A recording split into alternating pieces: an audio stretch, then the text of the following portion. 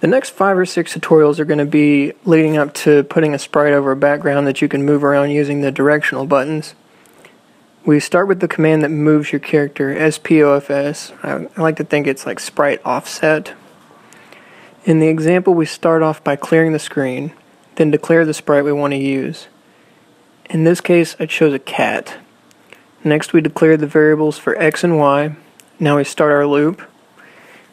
Inside our loop, we have our uh, SPOFS, which is simply just the sprite ID, X position, Y position, and then the Z. That's the 3D depth.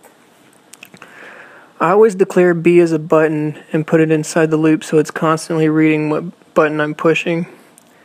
On line 12, I say if a button is pressed and it is 1, which is up, then subtract 1 by the Y position in SPOFS, which will move your sprite up.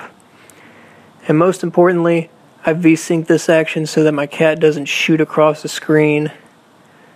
Uh, then I repeat this for each direction before closing my loop.